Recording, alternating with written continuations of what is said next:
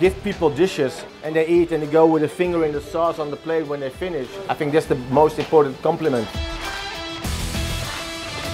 What did you think when we told you that we are going to give you new meat to cook with? I thought that's one of the hundred guys who call me and want to taste something.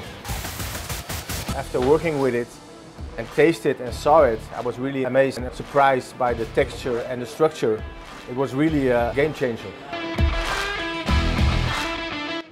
Taste it blind in your mind, it's the experience of a, of a bavette of an onglet. Chewing of meat, the grass, it's amazing. Most favorite dish is the taco. It's such a classic dish from us. But when we give it to people with the Redefine Meat, they don't ask what's in it, and that's the best compliment. We have to save the planet.